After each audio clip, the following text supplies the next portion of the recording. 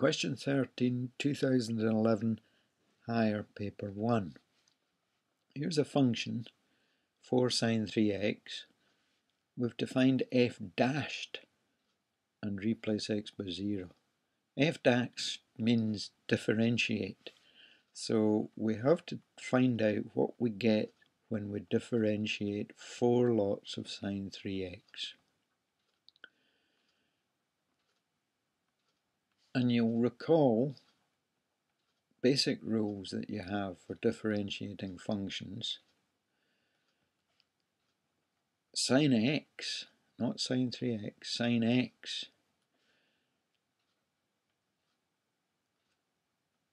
the derived function, that's what you get when you differentiate, the derived function for sine x is cos x. Now, it would be nice if the sine of 3x was cos 3x using this basic rule. That's not how it works. We have to invoke what's called the chain rule. And basically the chain rule extends a basic rule like this and allows more complicated expressions in place of x. So the way to think of this is, a practical way of thinking about it is that you have sine of something it could be, in this case, 3x, could be x squared, could be 1 upon x, whatever. But it's the sine of something involving x. You don't get the cosine of that something that involves x. You have to make an adjustment. You have to multiply by whatever you get when you differentiate that something. So basically in this case we've got a 3x sitting in there you should get a cos 3x, you don't. You have to adjust it by multiplying by what you get when you differentiate the 3x, which we know is 3.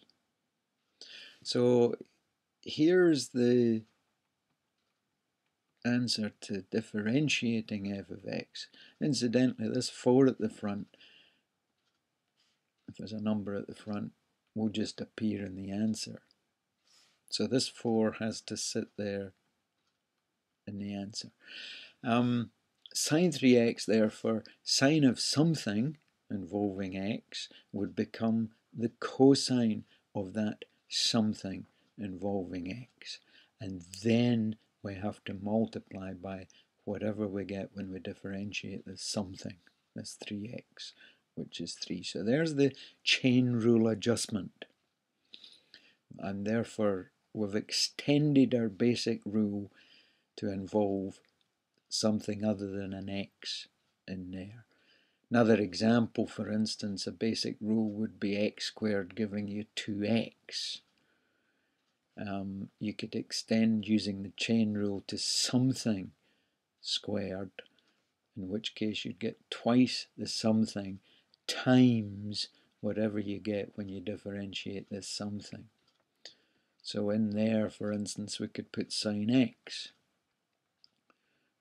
You can therefore use this extended rule, the chain rule, to differentiate sine x squared. We normal write, normally write that as sine squared x. But that would become twice sine x times what you get when you differentiate sine x, which we know is cos x. So differentiating sine squared x gives you 2 sine x cos x using this chain rule. So basic rule x squared gives you 2x, something squared gives you twice something times what you get when you differentiate that something. So let's go back to the question. We now have 3 fourths 12 cos 3x. And the final step replace x by 0, replace x by 0. So f dashed of 0 is the derived function evaluated when x equals 0 will be 12 times the cosine of 3 times 0, which is just 0. Now recall the cosine graph, remember this is paper 1, you don't have calculators, the cosine graph um, starts off, oh, that's a bad drawing, isn't it? Anyway, you can still use it. The cosine of 0 is 1. So this will be 12 times 1, which we know hopefully is 12. Now let's check the answers. There they are, and it's choice C. So let's put that down, choice C.